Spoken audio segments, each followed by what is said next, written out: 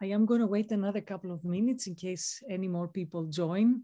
Events at Berkeley normally start at 10 after, and we're giving another two minutes. Sounds good.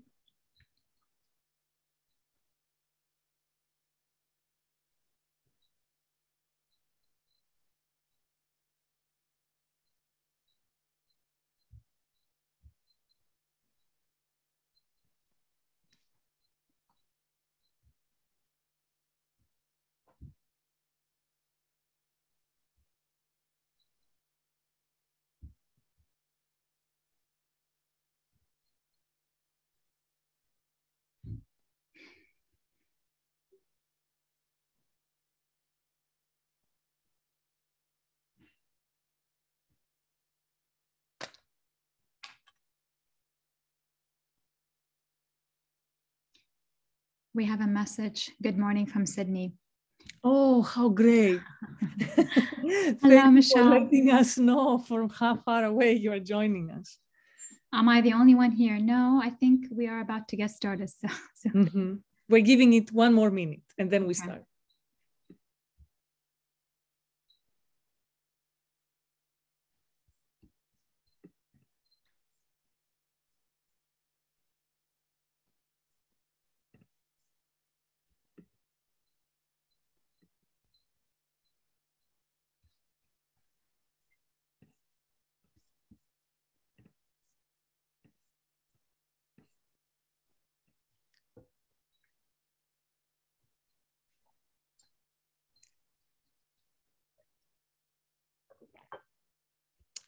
So I am uh, Professor Maria Mavroudi. I want to welcome everybody to this event by the Center of Middle Eastern Studies at the University of California at Berkeley.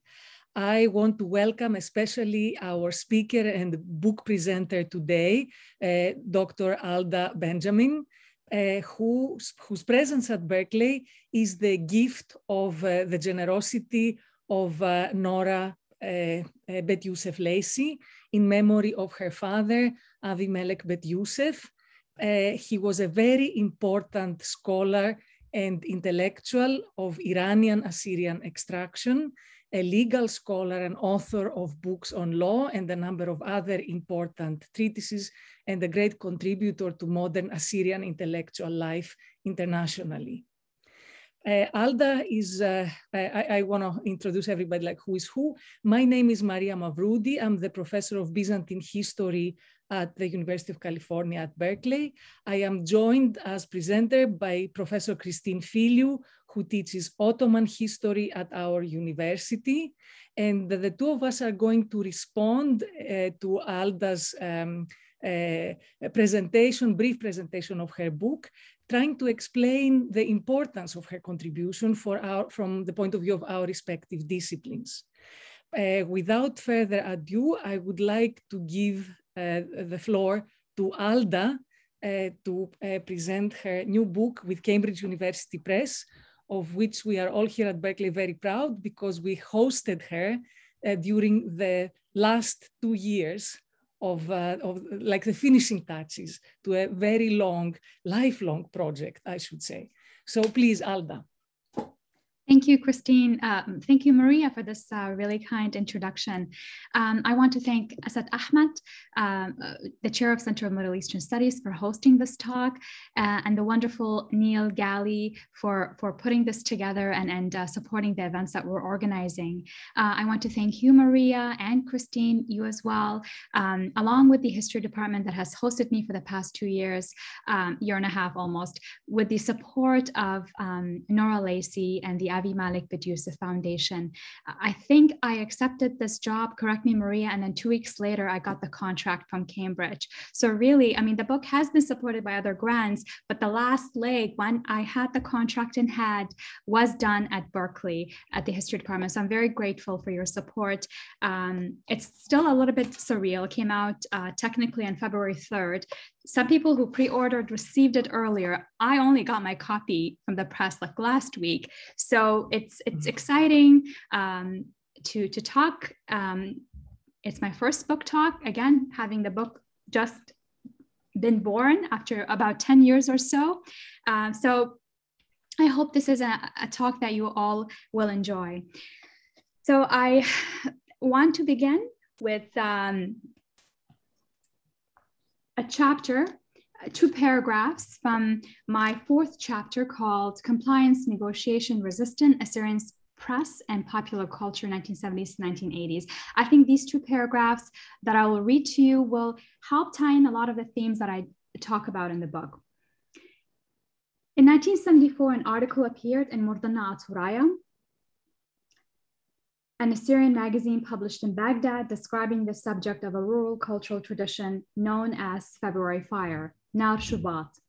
In the mountainous northern regions of the country, Assyrian villagers experienced heavy snowfall and extremely low temperatures in the, wider, in the winter, especially during February. As a result, the tradition of February fire was, a, was practiced, which required that each resident family collect pine branches and place them in a designated area in the village. This continued throughout the month, beginning with the church personnel who were in charge of collecting branches on the first day of the month. During the last days of February, the villagers gathered and set their large collection of trees, tree branches on fire to mark the end of the coldest month of the year. In celebration, they shouted, in his word, like soldiers overcoming a fierce battle, while women ululated in delight. The following refrain was repeated throughout the ceremony Mata Shubat, wal yati adar, February has passed, let March commence. The article's author used the term Ashuriyun to refer to the interchangeability between the ancient and modern Assyrians.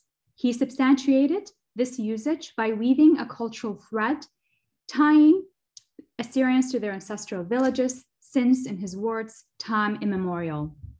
In those villages, Assyrians had remained observant, muhafidin, of their language, tradition, and practices, continuing their cultural renditions with complete pride, considering them, in his words, an important and living hayyan, part of their national, immortal culture and humanitarian existence. He reminiscent about the disruption of village life that had resulted from the immigration of Assyrians to Iraqi towns such as Baghdad, Mosul, Kirkuk, and Basra, but remained hopeful, believing that these cultural traditions had followed Assyrians to these urban centers, where they remained, in his words, preserved in their hearts.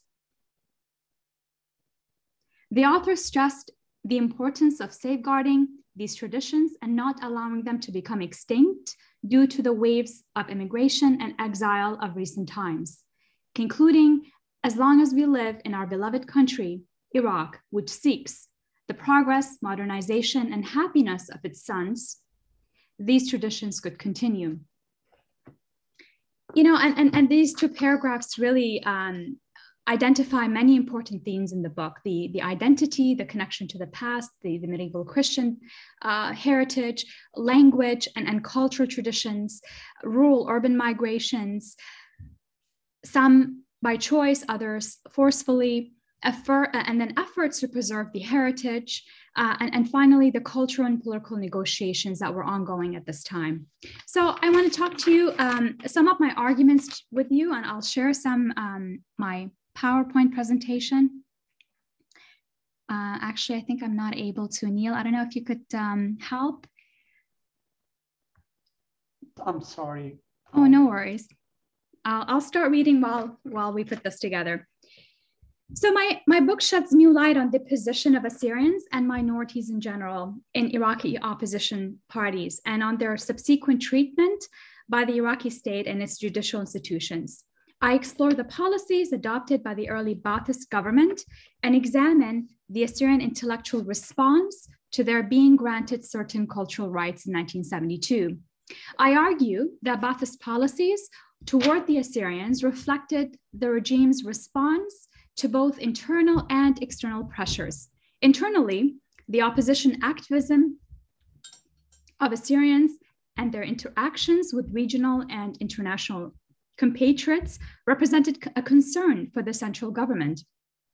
Externally, the influence of a vocal diasporic Assyrian community um, on Western governments and human rights organizations resulted in a negative in negative publicity for the Ba'athist. From a broader perspective, the intellectual and social movements explored in this book contribute to our understanding of leftist radical movements of the 1960s in the Middle East.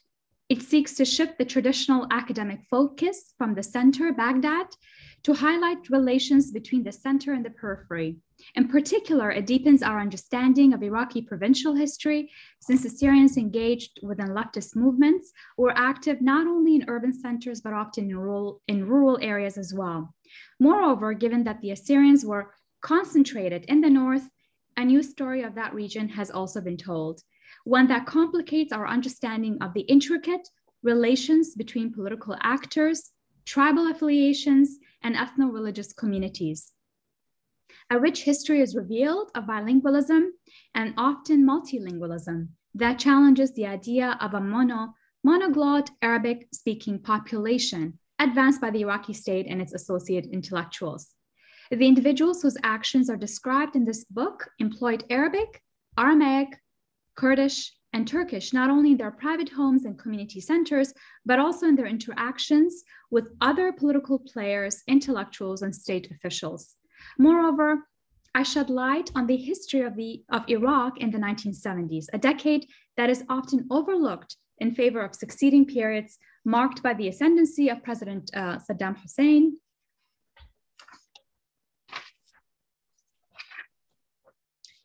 late 1970s, and the Iran-Iraq War, which began in 1980, uh, lasted until 1988.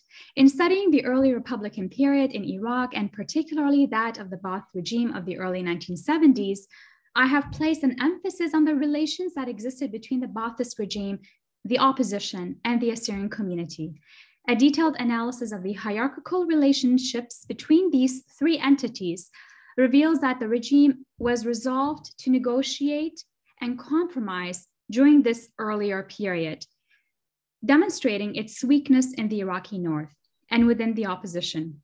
These types of conciliatory strategic relationships stand in stark contrast to its policies during subsequent periods, often highlighted in Iraqi scholarship, that were marked by an increase in its Baathification policies and violence towards its citizens. Okay, so uh, I'm going to try to share my PowerPoint again.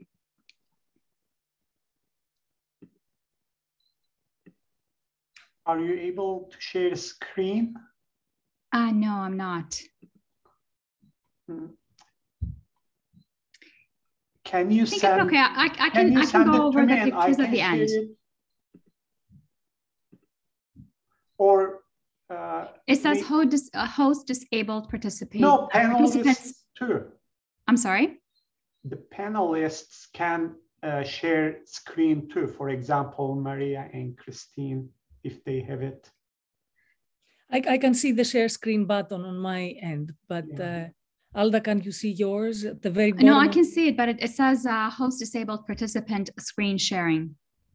Uh, Alda, I think the issue is you sign as participant uh, mm. instead of okay. panelist. All righty. sorry. Mm-hmm. Can you can you email the presentation to Neil? Perhaps he can have yeah. it. Yes. You know what? I can do that during the question and answer period. I think uh, they're just pictures to go over. So it's um mm-hmm. we can do that later. Okay, so I, I want to turn to sources and approaches. I think um, uh, that the way I study, uh, write about the community, um, uh, the approaches that I use and access to sources I have begin has, has helped me um, trace this history and, and, and, present it in the way uh, that uh, I've done. So we've seen over the past uh, decade uh, the study of Middle Eastern religious, ethnic, and linguistic minority communities, um, including various indigenous groups, defined during the modern period as minority communities shifted to include really sophisticated scholarship that challenges previously dominant notions concerning these communities in ways that have undone national, colonial, and imperial narratives. And it has turned some attention to the ways in which these narratives were formed and popularized.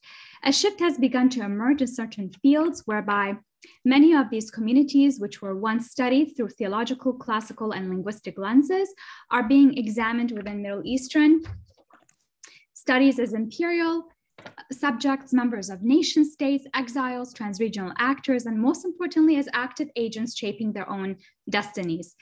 Most of the literature on the Assyrian community has traditionally stemmed from linguistic and theological fields of Semitic and Syriac studies, focusing on the ancient and medieval periods of Eastern Christianity in its linguistic medium of Syriac, um, the liturgical dialect of the Aramaic language used by the churches. Of course, all very important uh, literature and, and, and, scholarship produced uh, by this genre.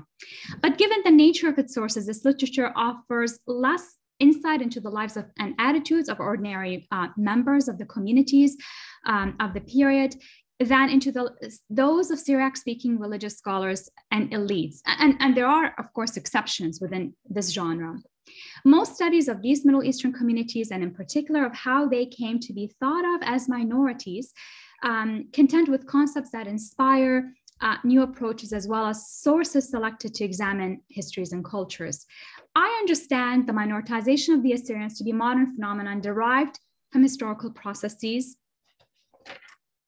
that signifies historical and contemporary practices of discrimination that marginalize communities, relegating them to an inferior status within the modern hierarchy of citizenship. Often, the living memory of violence and the trauma that survivors and their descendants experienced was, was carried with them.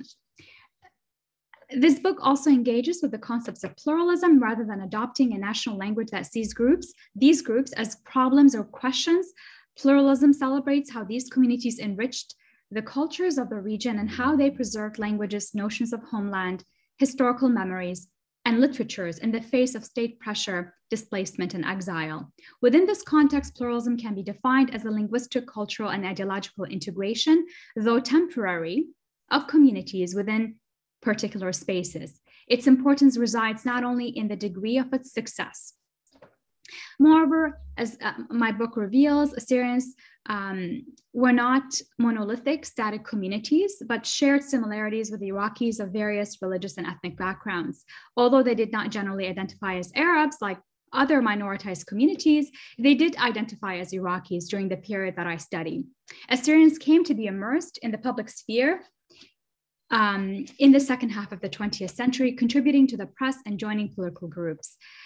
Um, Top-down structured approaches have been also assumed to be appropriate in studying various communities, including Middle Eastern Christians, who have been often considered through the prism of religion, specifically that of their particular denomination, ignoring their minoritization and more pluralistic involvements. This, um, this sectorized approach invoked since the 2000 ignores local processes of historical change and the role of colonial and missionary actors. Um, it, it is now being challenged in rich scholarly discussions of a kind that have not been previously conducted in relation to minority communities. My book is also in dialogue with uh, scholarship on Christians and other non-Muslim communities examining the Assyrians in the context of authoritarianism. The absence of the Assyrians from scholarly discussion reflects not only their omission from national archives and libraries, but also a lack of language training among scholars.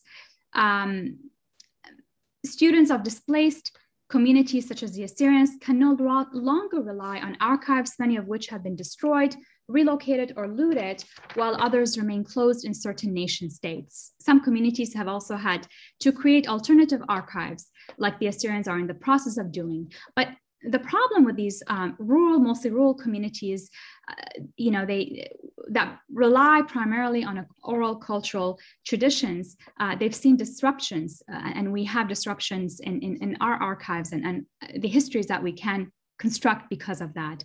Both the Yazidis and the Assyrians have witnessed the destruction of their cultural sites, while the displacement of their populations had disrupted their agricultural way of life. Rural traditions that have been preserved orally for generations have slowly begun to disappear. So, like the tradition that I discussed at the beginning of the book, uh, the, the, first two paragraphs I read about the, the, the cultural tradition of, a February fire, um, the intellectuals I study were preserving, trying to um, preserve these traditions and, and worry about them in the 70s. And this is also happening again. Um, but some scholarship, like my own work on the Assyrians, have found ways to revisit existing sources, the press, poetry collection, works of literature, and art along with oral histories in order to gain new insights on these communities. And over reliance on colonial and missionary sources and not and and on the perspective of the state and the cultural majority has diluted our understanding of the Assyrian community. But the incorporation of provincial history um, is one means by which we can ascribe to minority communities agency to them without ignoring their minoritization. So, you know, I can, um, if, if I get a chance to show you some images, I've, I've um, used new and unexamined archival sources uh, that I was able to retrieve um, in Iraq at the Iraqi National Library and Archives, um, and as well as the Baghdad archives that I uh, acquired since 2003. I examined popular songs, uh, interview singers, tracing the movements of cassette tapes, for example, um, and, and uh, periodicals in both Arabic and Aramaic and conduct interviews um, and, and find primary uh, and smaller libraries um, in, in um, various towns and villages near Baghdad, Duhok, Erbil, and Mosul, along with you know, interviews and, and sources that I find in North America and, and, and in Europe. So I think I will stop here. Alda, I think now you should be able to share screen. Okay. Oh, thank you. Thanks so much, Neil. Alrighty, so I'll move on. I talk about the role of the uh, Assyrians in, in the opposition. Uh, you might ask, how many, what is the number of Syrians that we have? The 1957 census is the best, uh, the best um, census figures that we have for the country. Uh, shows you the percentage of Assyrians in, in, in uh, various provinces. Um, and I want to move on to Mosul, where, where at this time included the province of Duhok. So sort of reminiscent of the of the Mosul of uh, Ottoman Mosul uh, to some extent. And you can see that the concentrations uh, of this community in, in various districts. So 23%, 13%, 21%. So they were significant, a smaller community, uh, but, but significant, um, especially when you think of their concentration in the north and, and the, the closeness of, of the borders. Um, the north uh, proximity uh, to Iran and Iran was supporting the opposition. So um, I'll move on to some pictures I wanted to show you. The Iraqi National Archives was burned in 2003. Uh, when I visited uh, many years later to begin my archive archival work um, there, I, I, you know, the uh, the uh, the head of the library at the time, uh, Saad Iskandar, uh, said that you know a lot of the material that you might need for the 60s and 70s would would probably be burned. Uh, but I was able to find files. I was able to find really important material to supplement the sources that I had. And um, the, the cases, the court cases, the police cases, um, in particular from the, the chapter on the communists, comes um, from, uh, from the archives that I found. Uh, and, and some images of uh, one of the magazines that I analyzed um, Mordana Turaya that I've mentioned, um, the, the article that I read. And uh, Maria noted this to me. Uh, actually, Maria, this was your uh, suggestion to include the Arabic and Aramaic together because I, visually, I think it's important to show how much space um, each of, of, um, of the languages is getting. So they're not, these pages are from the same issue, uh, from the, uh, the Assyrian Aramaic section and from the Arabic section. And of course, women were highlighted in this issue uh, or in general in, in Mordana Turaya. And here's another image, uh, one I loved. I actually considered this for my book cover. They, the press did not like it, but you know, here's the language, um, the alphabet, uh, the Assyrian alphabet in the shape of um, athletic figures. Uh, and you can say, you know, Alab, Beat, Gamal, Dalat, and, and so on. And um, I think this just shows, you know, modernity, um, progress, standardization um, that, that's going on uh, at the time. Okay, so I think I'll stop here. Thank you. So I'd like to invite Christine to give her response. And then, as I said, I will briefly go through mine. And then the floor is open to everybody's questions. And I'm glad to see we already have a very lively audience. Thank you. Thank you, Maria. And thank you, Alda, for writing this wonderful book. Um, I really enjoyed reading it. I found it to be, I urge you all to buy it and read it as soon as possible, whether you are identify yourself as part of this community or not. I am not, um, but I read it through the lens of Ottoman history into post Ottoman, Turkish and Greek and Armenian, of course, history, all of which are related in fascinating ways to this to this case of the Syrians in Iraq.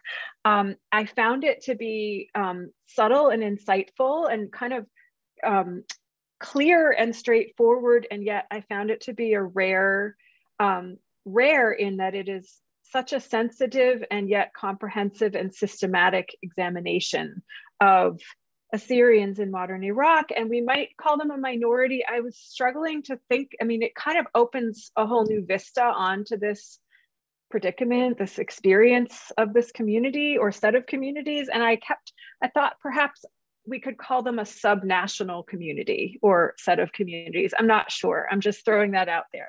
Um, I thought that it captured for me, as someone, as I said, I work on the histories that I mentioned. I also teach the Middle East, the modern Middle East, and I just found it um, so fresh in the way that it captures the specificity and the really torturous predicament of Assyrians um, and the subgroups therein of Iraq. Um, and, it captures the specificity of Iraq also as, as a state formation and as the various waves and political movements and regimes in the 20th century. Um, and yet it invites so many generative comparisons and contrasts with so many other groups, such as the ones that I mentioned that I study, groups within the same geography. I was constantly thinking as, as the discussion of Kurds was happening and of Jews being mentioned, I'm thinking of the ways in which these communities both mirror each other and not at all, and are coming into conflict, and at other times are in negotiation and alliance, depending on the circumstances. Um, and of course, it invites comparisons across a much broader landscape. Um, now, I just found it really fascinating to grapple with this protracted indeterminate status of this group right and this community with no and, and it stands in stark contrast to let's say um, the greeks and armenians and jews that are left over in turkey after the treaty of lausanne. They're living even if the, the terms of that treaty are being violated implicitly they are living in a legal situation where there are particular specific guarantees supposedly cultural political rights right same with Muslims in um, in Western in Greek Thrace, right? There is a legal framework for these groups, and I did not sense that there's the same situation. There's no solid ground for the for the Assyrians, right? There's no international, um, and as I I'll say in a little bit too, there's no stable great power beyond that is protecting. There is sometimes, but it really is dependent on the shifting tides of politics, right? Um, so this indeterminacy I found just intellectually just um, difficult and and also just um, generative, as I'm saying, to think about. Um, now, um, and so much of, and I, I also was struggling to kind of come up with almost like a typology for the larger problematic of, of subnational minorities like this across the Middle East and, and the Balkans even. And it's, you know, so much of it and the way you tell the story and the way it unfolds, so much of it has to do with timing and the geography and the demographics, right? And um, the fact that this is playing out most of what you're saying is playing out in the second half of the 20th century, mid to late 20th century, let's say. And this is a moment when communism, when labor politics are, are there's an appeal and there's a danger, obviously, in engaging in it. And as a minority, trying to negotiate as a subnational group that is not that, that does not have the reins of sovereignty in their hands, this is this double-edged sword, right? And so it's and you tell the story so nicely, the ways that it is both a natural attraction and then of course as circumstances shift it's a danger and persecution ensues, right? So it's um, there's really no solution for, for these for these communities, right? There's no safe, it doesn't feel that there's a safe space for them. And maybe that's a naive phrase to even bring in here.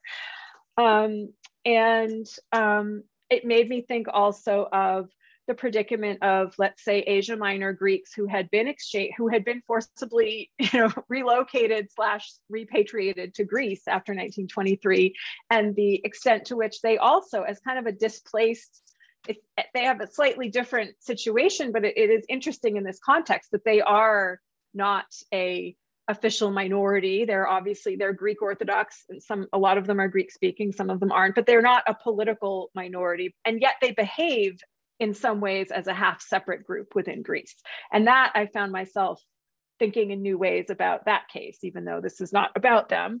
Um, and of course, in terms of the allure and the danger of communism, Jews in so many urban areas, right? That that a similar draw of like, you know, a, a kind of a cosmopolitan group that's used to some kind of pluralism is drawn to these ideologies, which promise a kind of ecumenism implicit in, in the whole political project, right?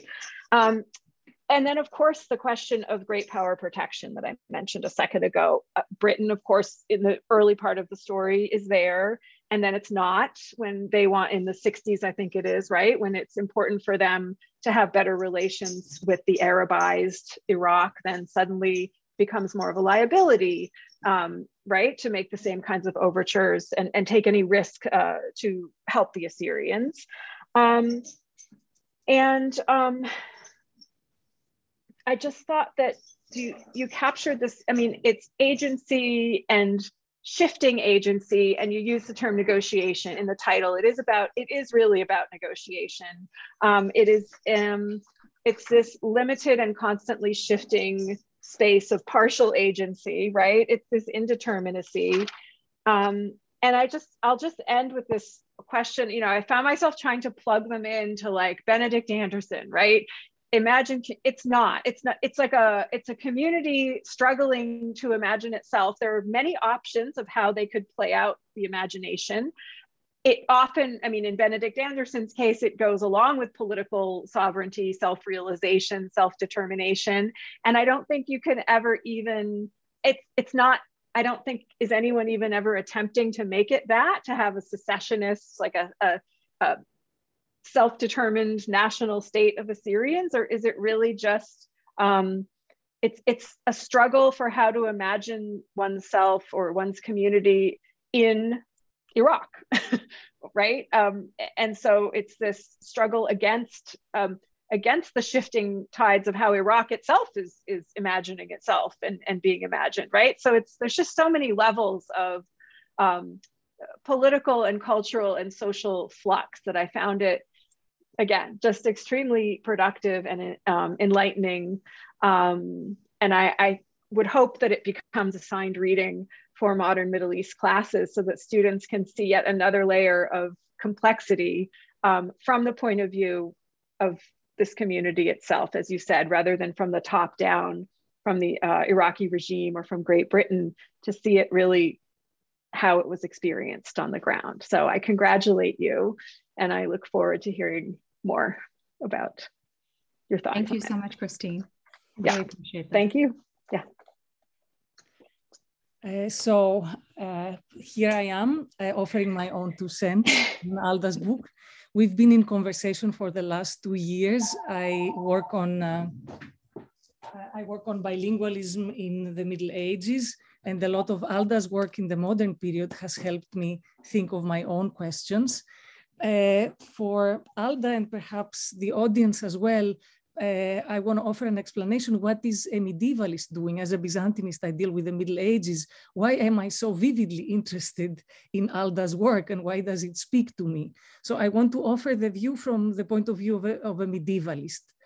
Uh, we medievalists have to uh, grapple with the fact that the rise of the study of the Middle Ages as a modern discipline is the result of intellectual and political developments of the 18th and 19th centuries. So Romantic nationalism is conceived of in the 18th century. It is politically implemented, depending on which part of the world one is, the, in the course of the 19th and in the early 20th century. And from the point of view of nationalism, if you look at the Middle East, uh, you know, Europe exports paradigms. So the rise of nationalisms, the development of romantic nationalism is effectively a European product. And the study of the Western Middle Ages helped it articulate itself as a 19th and 20th century phenomenon. From the point of the Middle East, you cannot easily export the European paradigm. So as uh, scholars of the Middle East well know, nationalism in the Middle East does not work in the same way as in the European uh, paradigm.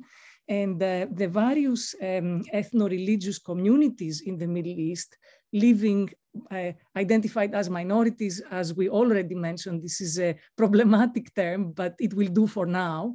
Uh, so all, all, of these ethno-religious groups that are living among uh, in a polity ruled by Muslims, they have a sense of community. And then um, modern scholarship has discussed how Western um, missionaries come among them in the course of the 18th, the 19th, the early 20th century, and create a sense of ethno-religious community that is modeled after the European paradigm. And it's a big discussion in scholarship, does this fit, does this not fit? Um, I'm not uh, about to answer this question. I just want to label it as a problem and also explain uh, how this applied in my own field and how Alda's book illuminates it. Uh, the, if, if as a medievalist you want to study not the Western Middle Ages, but the Middle East and the ethno-religious communities in the medieval Middle East, you do not encounter the history of a people normally, but you encounter the history of a church or different churches and the history of a literature written in a particular language. So for example, you have histories of um, Christian Arabic literature, histories of uh, uh, Syriac literature. And you have them written from different points of view, from uh, like an interconfessional literature in Syriac, or literatures in Syriac where authors are grouped according to their particular kind of Christianity, provided that they all use Syriac as a language.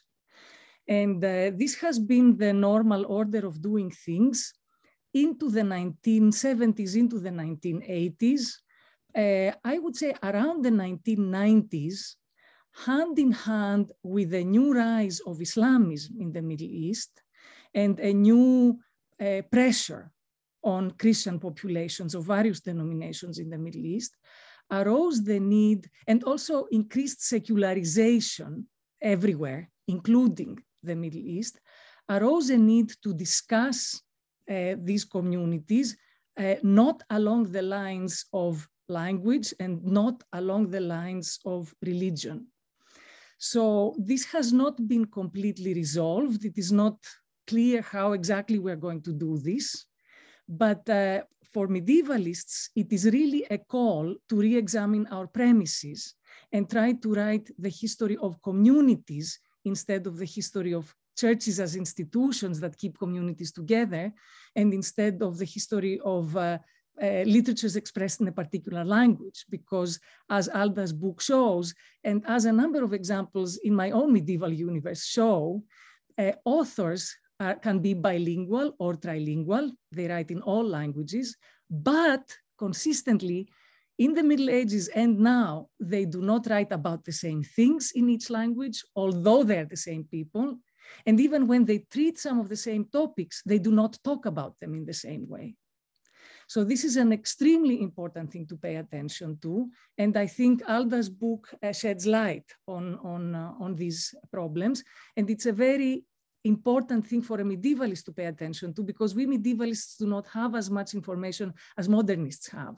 And the only way to better imagine, to kind of nuance our understanding of a medieval past is by looking at modern examples that are better recorded, that can be seen in greater detail, and then see whether they work based on the evidence we have in our hands or not. The other thing that uh, for me as a medievalist, Alda's book speaks to is the construction of a modern uh, uh, national Iraqi identity, and especially uh, how um, uh, uh, Iraqi scholars write about the medieval past and the present implicitly by addressing the medieval past. The example I would briefly like to address is um, a, very well known, I think the star of uh, uh, Iraqi medievalists, uh, Abdulaziz Adouri, uh, who wrote um, um, his lifetime spans between 1919 and 2010. Uh, he was educated in Baghdad and at the University of London, and he spent his career in Iraq and in Jordan. An important part of his work focuses on the political, the social, and the economic history of the Abbasid period. And uh, when we compare him with other um, medievalists writing in Arabic during the 20th century, uh, he subsumed Islam to Arabism. And uh, his work also has a pioneering feature. Uh, what he emphasizes is the unity of language. So what he sees as a constituent part of modern Iraqi identity is the use of the Arabic language. So in that sense, uh, the Assyrians fit as long as they use Arabic, but do not fit uh, as long as they use Assyrian. And uh, he also emphasizes economic and social developments as decisive factors that contributed to the emergence of Arab nationhood. Uh, the reason I choose him is because um, uh, although he wrote most of his work in Arabic, there's at least one very famous book that he originally wrote in English as a series of lectures in Georgetown. And there, there is a summary of, of these ideas. And um, it is very interesting that he has a chapter where he treats uh, uh, individual groups that make up modern Iraq, going all the way back to their ancient and medieval roots. And nowhere does he speak of their religion. And uh, this is extremely interesting because for Duri, Duri is like uh, the Iraqi elite, the Baath elite uh, is uh, Sunni Arab. Uh, but as Iraqis and scholars of Iraq well know, uh, Sunni Arabs in Iraq are not the demographic majority. So the problem for Duri is how to make things fit when uh, you have a, a, I'll call it a patchwork of, of different groups, ethno-religious groups uh, that are a majority if taken together, but are ruled by a minority.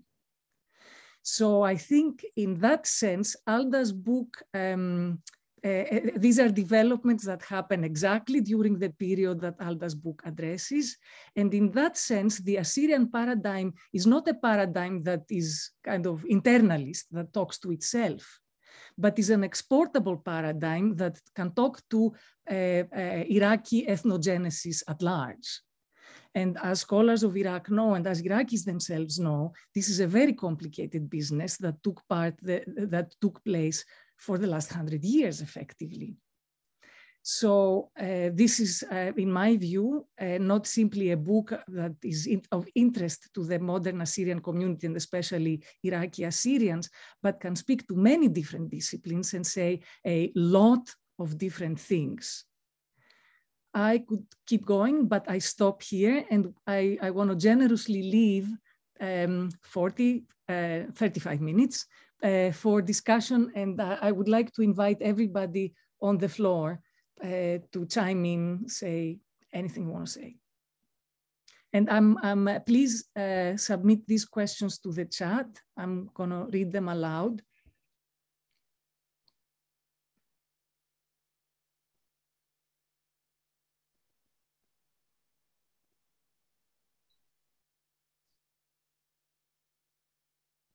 I do not see anything. So I will address the question to Alda.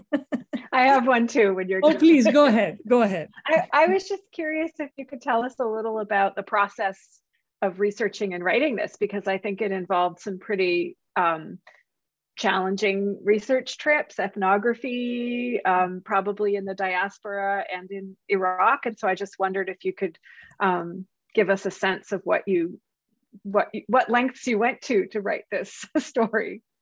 Thank you, uh, Christine, um, and Maria also for your uh, commentary. So um, the my first research trip. So I, I, was born in Iraq. I left as a as a child uh, in the 90s, uh, following the war and the sanctions. So the, my first research back to, research trip back to Iraq was uh, as an MA student uh, in 2007 2008, and um, at that time, I was interested in, in, in these um, newly developing grassroots organizations um, and, and very quickly learned after the fall of the Ba'ath regime, 2003, uh, very quickly learned that actually the 60s and 70s were quite important. Uh, some groups were not new, groups. They had been their foundation was in the 60s and 70s, uh, and and this this is how I my my interest in this period um, uh, first generated basically. So. Um, the good thing about my master's project was I did a lot of field work, a lot of interviews uh, with these civil society or grassroots organizations that were around at the time, 2007, 2008, um, women's groups, student groups, youth groups, um, religious uh, groups, um, humanitarian, political, intellectual. So that was very important for me um, in a new Iraq, a new uh, an Iraq that I had left for for 20 plus years, to return to as an academic, as a professional.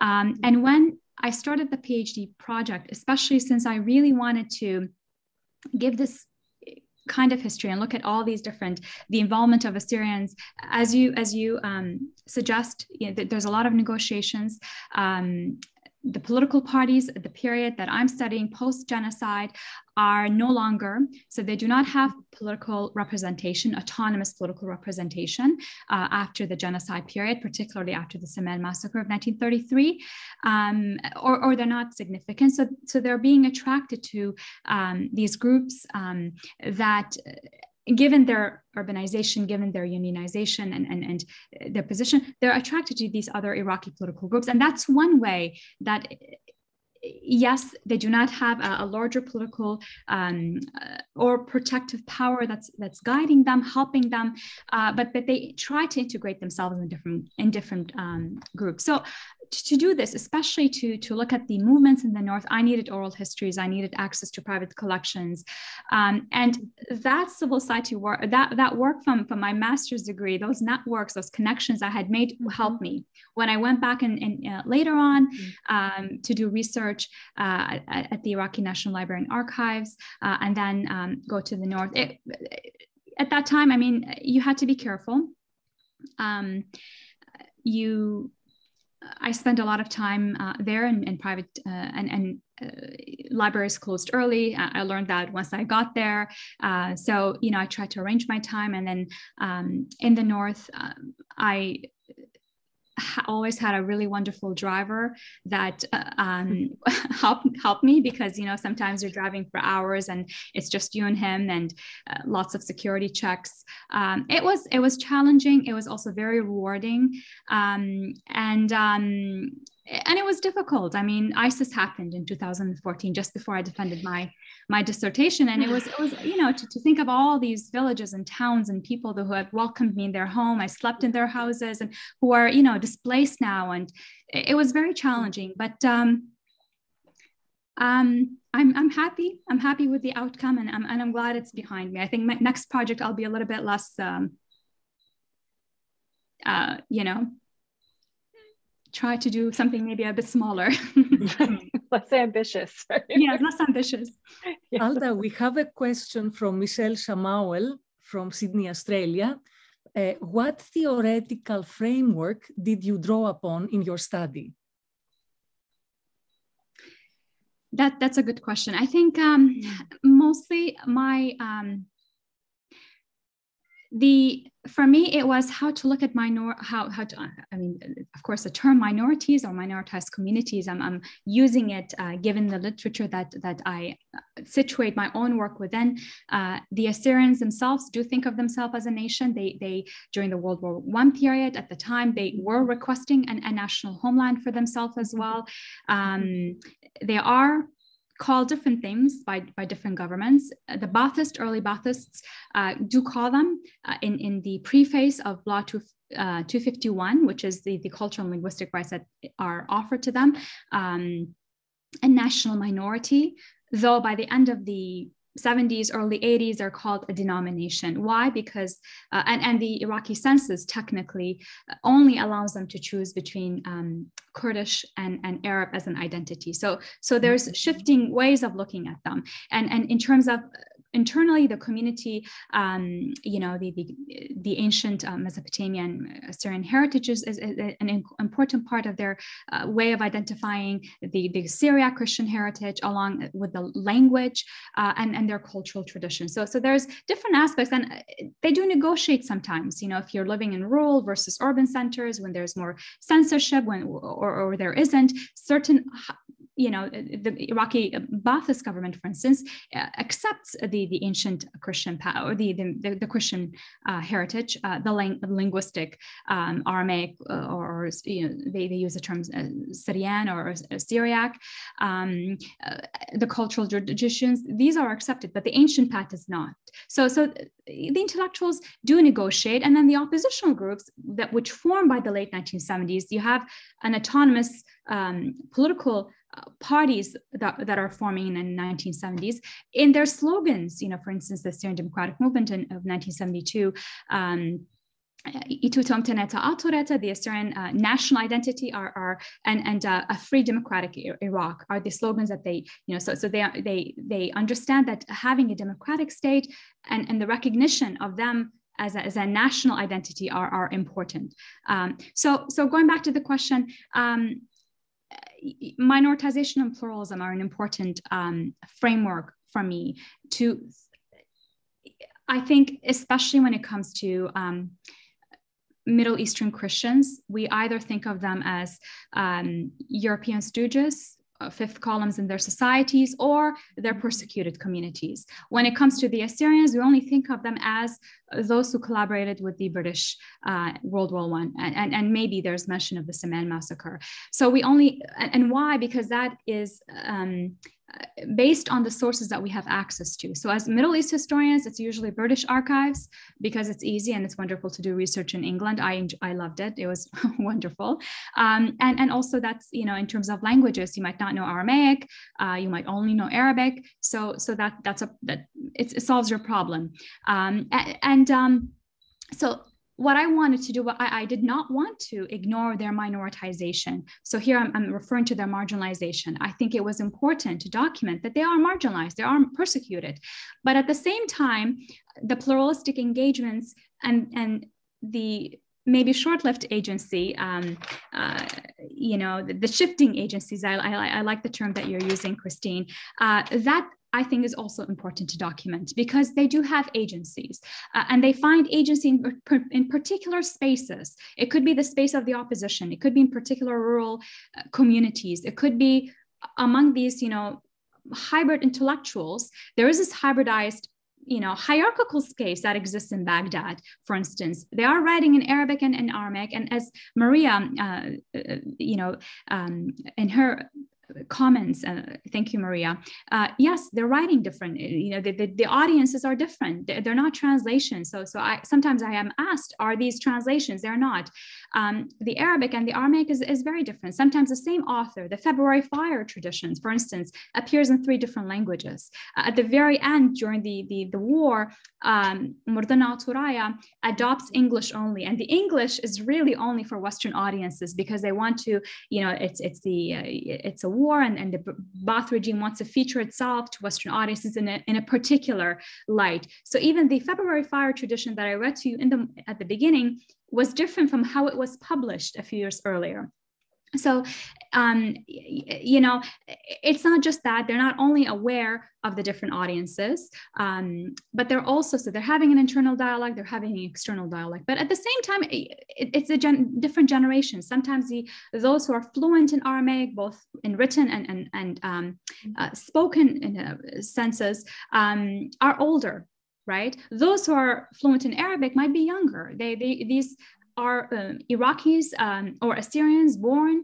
in generally the 1950s, let's say, who 1950s, late 40s, who are urbanized and, and they do eventually feel part of the Iraqi state. They're going to state education they're receiving state education they're going to universities um, and, and there's this, sense of positivism in the 1970s due to oil money that's mm-hmm. increasing you know iraqis uh, so economy and politics has a lot to do with it so there is a sense of belonging uh, that's why even their political parties that they eventually form after decades of, of you know not being able to after the um, you know uh, they they they include a free democratic Iraq. For them, they do see themselves as part of an Iraqi.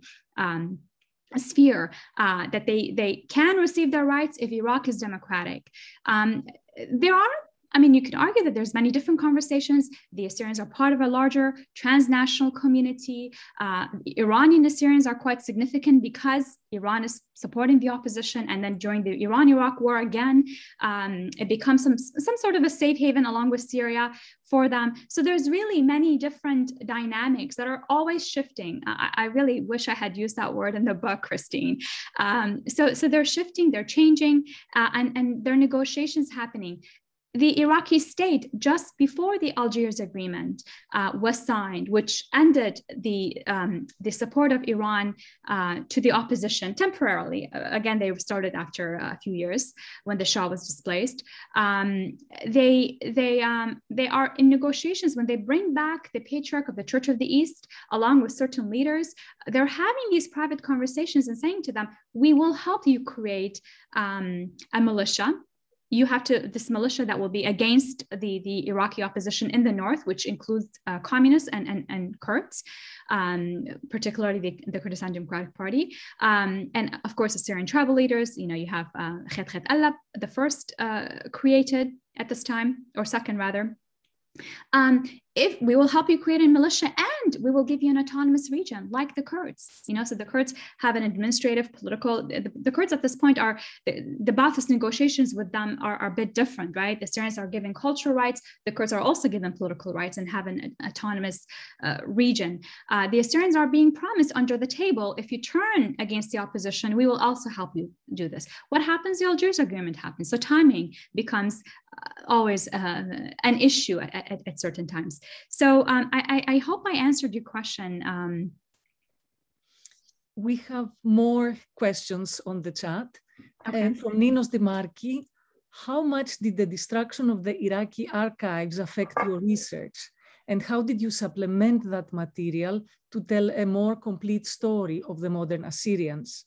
And what material, if you wish you could have access to, would you like would you have liked to include in your book? Thank you, Ninos. Uh, uh, this is a, an excellent question. So I was surprised by the Iraqi archives. I was the first, as far as I know, I was the first um, American scholar or scholar from North America to go and do research at the Iraqi archives, National Archives. Uh, there was at the same time another person who came, another Iraqi, um, a French um, uh, scholar who came um, to do research there. But I was the first, so I did not know what to expect. Um, everything I found, I was delighted. It was it was wonderful, you know. So, so they told me you will not find anything from the 60s, 70s, and and I knew that the the the Ba'athist archives um, were at the Hoover Institution. Um, but I wanted something more than that. So um, the what I found there was the police records, which were very important. Um, the they were challenging to deal with. They were um, microfiches from the 1960s, so very difficult to go through. But sometimes they had files. So basically, they had what what, what they called a daftar or a notebook with handwritten notes of people who they tried accused of being communists, whether they were communists or they were not. You know, I, I, explore that in the book. It's a it's a different issue, but these were names. So sometimes one name is given, but then actually this this group, which they call a cell, is like 14 people. Um, and and sometimes, so you go through this file, and what I did was, so um, this was something, uh, you know, you learn to do when you're working on minority communities uh, or you know, uh, minoritized communities as the Assyrians because um, they, they don't have their own archive. So I just went through the names. Any name that seemed Assyrian or neutral or mm-hmm. Christian, I pulled. Sometimes these files did not exist. They, they had been destroyed. Sometimes they did. Sometimes they had files on a whole village or town, which was amazing but that file in reality they could not find it for me at the back so i, I found a lot of those and, and those became the, the basis for my um, that first chapter other material what i had to do was uh, supplement it you, know things like the Mordana Turaya or other magazines i called um, some librarians that we have in the west um, they had one issue or two of it I knew if I was going to do a whole chapter on the press, I needed many, many issues. I needed many, many years. So I can see how the dialogue is changing. What are the trends? How is it affected? How does policy affect what these intellectuals are writing about? And I, I wanted um, at the Hoover Institution at Stanford University, which, uh, from what I'm told, uh, these archives are now returned to Iraq. I, I, we don't know where they are exactly.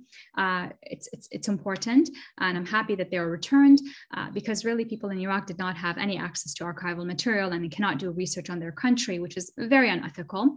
Um, but you know, I, I, use that material, but also material archives. Uh, certain political parties in Iraq, I found again through my interactions that were involved in 2003 with the US um, um, invasion or you know um, they had archives of their own communities how that came to be i don't know right? But certain, these political parties that were involved, all of them have collections of their community. So I use those as well. But uh, basically, so the the the arc the um the paragraph at the beginning that I read to you that the um, February fire that chapter looks at only Assyrian intellectual production, basically music and mostly press. But the chapter before it looks at the Ba'athist archive. So these two chapters are sort of mirror images of each other. I wanted to give the Assyrians a voice, but also look at what the state was writing. What were they thinking about the Assyrians? And it's interesting. They do write about the press. They do monitor not only what Assyrians are writing and singing about, but also what Assyrian Iranians are writing, what Assyrians in Sweden are proposing. I mean, it, it's really wonderful. I mean, not wonderful, but it, it just, just how their you know their web is everywhere and they're monitoring. You know, there's a radio um, signal that's picked up from iran that assyrians in, in iraq can hear and, and they're concerned about that. Mm-hmm. so and, and they're translating these these uh, works and, and it's appearing. The translations are appearing in the in, in the archives. Um, the rural movements was the most difficult. The, the, the, the chapter that i write on the rural movements because you just do not have much material. You know, you look at the press, these people are called, if, if they're mentioned, they're criminals, they're, they're presented from a particular perspective. For that chapter, I did a lot of oral interviews and I tried to include as much as I can. Women were also difficult. I really wanted, it was important for me, as you can see on the cover, you know, we have these two uh, wonderful women. Um, the cover was was uh, you know difficult to find the, the, the the image i mean archiving is important and unfortunately assyrian archives um, we're working on them, of course, but um, there's a lot that's lacking. Um, you know, so so oral histories and music for me was important because for a community like the Assyrians, not all of them were, were fluent in the Aramaic language. They could not read and read and write, but they spoke it. It was their mother tongue. It was important to them. So music is, is really important.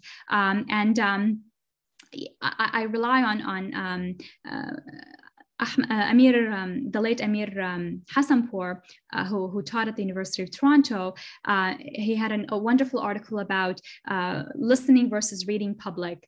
Um, and and for the Assyrians, that's important because they they are a listening public. So it's a music, you know, versus reading. They cannot. Not all of them have been given the ability to read or stand you know in their language because uh, at particular times um, the private schools were closed down by the state and they eventually became uh, public schools. So um, so music is also an important medium and and through the modern technology of a cassette tape they really seep through the borders. It's wonderful. I mean um, the the execution of, of uh, Assyrians and political parties in 1983 um, singers in Chicago are singing about this and and and they're black label. I mean, they cannot technically officially they cannot enter the Iraqi market, but they do through the the porous borders, especially where the opposition is and these spaces. And and Iraqi Assyrians are listening to these things. What what these singers are creating in in uh, Chicago and in California as well. They come to them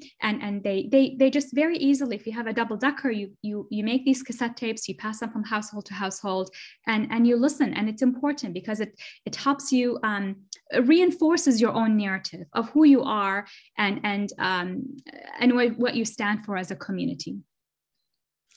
I want to use the opportunity of your mention of the fragility and the disappearance of Assyrian archives to uh, announce to a broader group. We have a worldwide um, audience of Assyrians, I believe, uh, here today. So I want to announce that the University of California at Berkeley thanks to a seed gift by Francis Sargis, and with the help of our rare book and manuscript library, the Bancroft Library, has launched with Alda's instrumental help an effort to archive the uh, modern Assyrian experience. And uh, we have, uh, we are about to receive in less than a week from now, two very important donations. One is uh, textbooks for school instruction in Iraq written in Assyrian uh, during the 1990s. We are about to receive a full set of those uh, from the Assyrian Aid Fund. And um, we are extremely happy about it because we believe it will give future um, uh, researchers the ability to not only understand the conditions of education for Assyrians in Iraq around that time, but uh, also the difficulty of translating into like modern concepts in a language that was not doing this habitually up until that point. We are extremely grateful to the Assyrian Aid Society for doing this for us. And uh, we are also about to receive the archive of the extremely important Assyrian poet Sargon Boulos. And um, uh, we um, would welcome discussions with you. If you think of anything, if you have anything, the particular um, um, angle that we have because of the type of things that the Bancroft collects is uh, that this has become part of the Bancroft collection on Western Americana. It's a leading collection in the world for this. So it's easier for us to accept this material if it informs in any way the experience of Assyrians in California. It's particularly important for us that Sargon Boulos was the translator into Arabic of the beat poets of uh, uh, San Francisco. So this was the angle that we have to accept him. Uh, but you know, if we can imagine an angle, if you want to give us materials, we'll work with you. Please contact me via email. You can find me on the website of the history department at Berkeley. Please contact Alda. Uh, we have uh, this uh, tremendous, we are at the beginnings of a long-term effort and uh, there are other things in the works that I'm not going to talk about because it's not money in the bank. But uh, we are taking ourselves seriously in, in this effort and uh, we'd appreciate your help. Um, I see um, uh, another question, and I think Alda may have an answer. Are there any plans or intentions to have the book translated into Arabic and Kurdish to make it available to a broader audience within Iraq? This work would certainly help promote a culture of greater understanding and tolerance in Iraqi society, especially as Assyrians are increasingly marginalized. Alda, do you want to say anything? Thank you. I mean, it, there, there's nothing official yet. There's been interest in Arabic translations. I haven't been uh, approached about Kurdish, but but the book has just come out, and hopefully there will be interest. And I agree with you. I think it's um, you know, I, I would uh, love to see it in, in different languages uh, that other Iraqis in um, in Iraq can also use and, and, understand. English is not going to be as accessible to, to everybody. So I'm, I'm aware of that. And I thank you for uh, the suggestion. I want to address uh, Tony Hoshaba's remark. Do you accept magazines, books, videos in this UC Berkeley archive? If yes, what is the address to send the materials? uh, please uh, get in touch with me. I have to clear it. My name, as I said, is Maria Mavroudi. You can find me on the website of the history department. I have to clear it with the curators of the Bancroft. It's not my decision or Alda's decision alone, but we'd be thrilled to discuss this with you. I also have a recurring question from uh, Michelle Chamauel on um, uh, theories used in analyzing your raw data. And uh, I, I want to give my, my two cents, also picking up on something that Christine mentioned in her response, namely uh, the um, uh, concepts about nations and national communities that have been around during the period that Alda's book covers. And uh, so th there is, um, on the one hand, you have the inheritance from Romantic nationalism on the antiquity and permanence of nations uh, which early on, I'd say in the 1950s, but really with uh, force. Uh, already things came out in the 1960s, uh, but really with force in the 1980s, uh, talked about, um, um, you know, offered a, a, a contradiction to romantic nationalism. So uh, there, there were books like uh, Ernest Gellner's Thought and Change that came out in 1965. Uh, it was later expanded in another book by Gellner, Nations and Nationhood. Uh, Christine mentioned Benedict Anderson's Imagined Communities that came out in 1983. And uh, then there was, of course, Eric Hobsbawm's Nations and Nationalism since 1780, which came out in 1992. And uh, basically, they um, uh, talked about uh, nations as a modern invention that did not exist before. My own observation is that these three uh, extremely influential thinkers had themselves very complicated childhoods. None of them grew up in a single place. None of them was educated in a single educational system. And I think in many ways they projected their own experience in how they, they, they kind of constructed their own individual uh, and collective uh, sense of identity. There was pushback to this theory, uh, to this idea of nations as a construct, as a modern construct, and that was spearheaded by Anthony D. Smith, who happens to have been a student of Gellner's. And uh, in his own work, uh, he agreed that nationalism is indeed a product of modernity, but uh, he also insisted that nations did have pre-modern roots. And uh, I think this perspective was helped by his own earlier training in classics. And uh, he used classics like the ancient Greek, the Roman past in his own uh, work as a sociologist.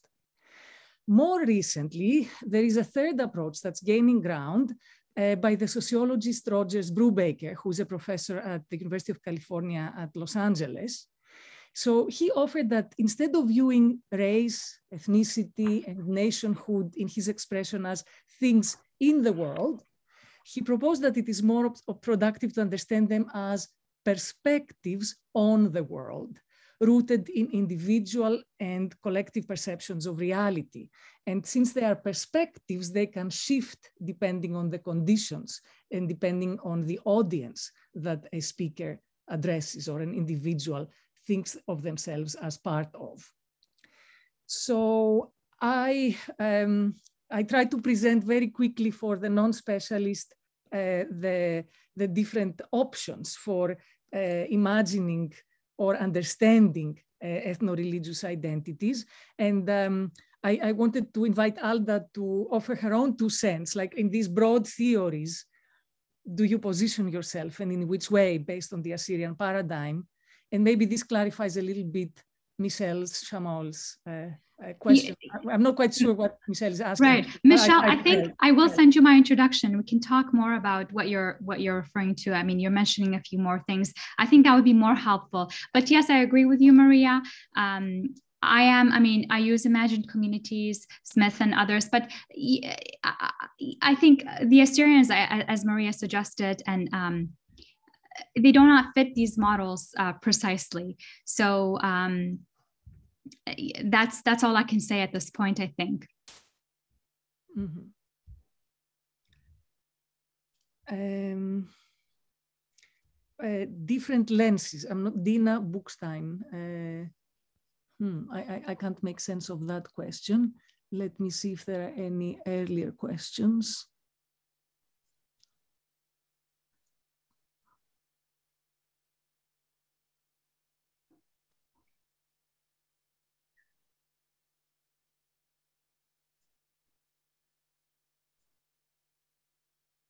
I do not see anything in my brief. There's a lot of chat.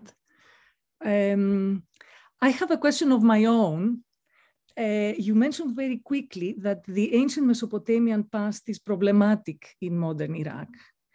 And uh, of course, this is, um, you know, the, uh, it's, it's very important for a modern national narrative to have roots as far back as possible.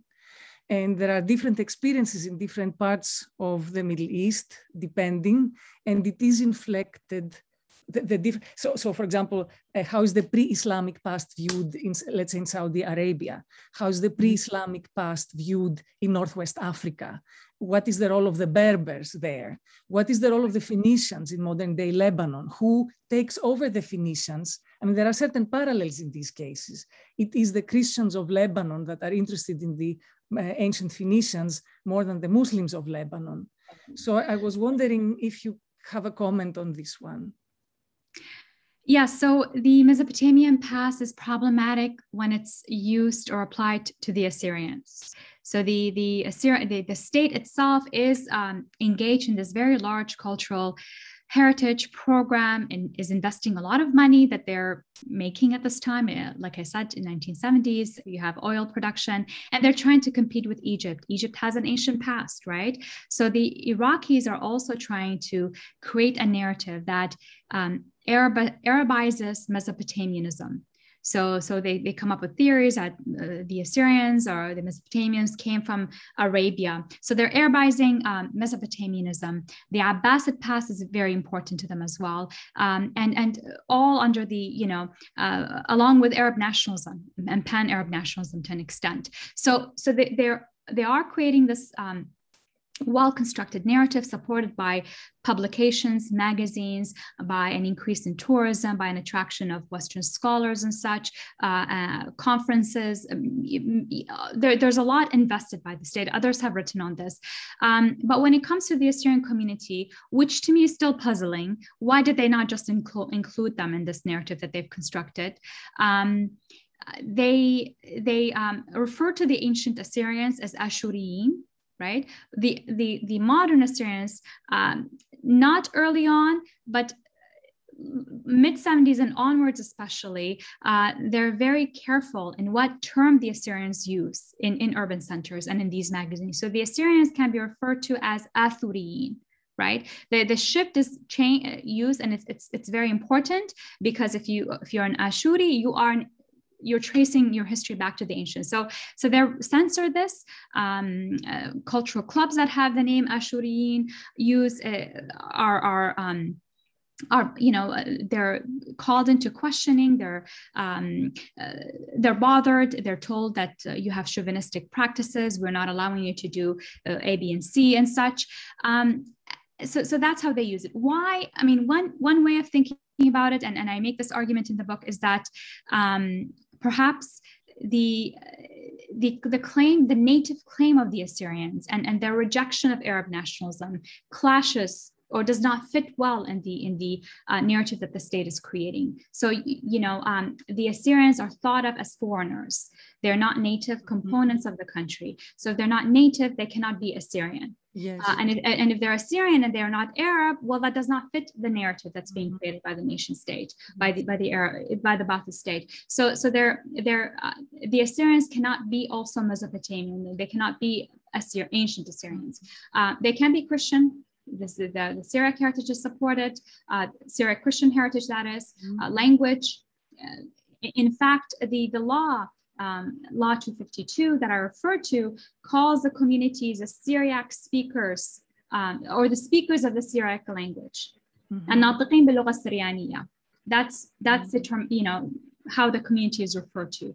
Uh, so so I hope I'm answering your question, but um, there's a, a, really a great article by Mariam Georgis, who's a political scientist. Mm -hmm. um, which addresses the term minoritization and, and she she takes issue not not minority minorities takes issues with that and and uh, uses indigenous mm-hmm. um, methodology and practices in her work it mm-hmm. just came out and i think it complicates our, our understanding of assyrians and their connection to the land and uh, and their the problems of the state at, at, at various points yes we have two minutes and I do not know uh, if um, this is answerable, but uh, I was chastised by Sam Haddad that I missed his question and I'm grateful he sent it again. And uh, I think this is a question for a political analyst. I don't know if it's for a mm-hmm. scholar, but he asks, Alda, in your opinion, do you think that Assyrians may be able diplomatically to gain some local autonomy? We have two minutes. I don't know if you want to, what do you want to do with this question?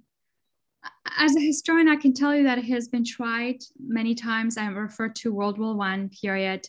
Um, the Nineveh Plain, uh, just recently, uh, 2014, again, they were pushed to the creation of a um, safe haven uh, and then an administrative uh, region uh, or local administration, and then a province in 2014, uh, President Nouri Maliki approved uh, that one, the, the official languages of the state are not only Arabic and Kurdish, but also Syriac and, and Turkma, Turkish, Turkmani, uh, and also that three new provinces would be created and the Nineveh Plain would be one of these provinces. But of course, we know what happened after January of 2014. In July or August of 2014, ISIS invaded. So that idea was put to um, bad. Uh, honestly, I, I, maybe others can answer this question better who have um, a better political analysis uh, or understanding of, of uh, contemporary affairs. Mm-hmm. I think we are right on cue for our scheduled, our appointed time. I want to thank Alda for very generously uh, explaining many different aspects of her work to all of us. I also want to thank our lively and engaged audience. I am so glad that um, I, I, had already an expression of interest in uh, the Assyrian archive we are launching here at the Bancroft. And uh, I hope to see some of you in our future events covering the Assyrian experience here at UC Berkeley. I, I say uh, good morning, good night, wherever you are around the world. This is the beauty of the World Wide Web. We cannot have the immediacy of each other's presence, but we have a tremendous geographic expanse. And uh, again, I want to thank Alda and all of you for being present. And um, I hope we'll see you soon. Thank you so much, Maria and Chris um, and Christine, for for your commentary, and um, uh, everyone else for joining us and and for these uh, wonderful questions that you asked. I really appreciate it. Thank you. Thank you, everyone. Okay.